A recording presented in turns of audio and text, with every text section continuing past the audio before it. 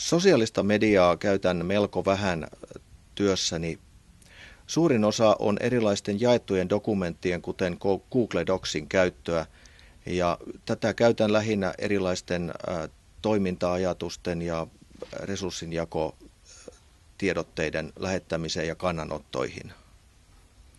Vaara on tietysti olemassa että näiden opettajien suhteen, jotka voivat olla liian läheisessä kanssakäymisessä opiskelijoiden kanssa, mutta tämä ei uskoakseni koske meidän oppilaitosta.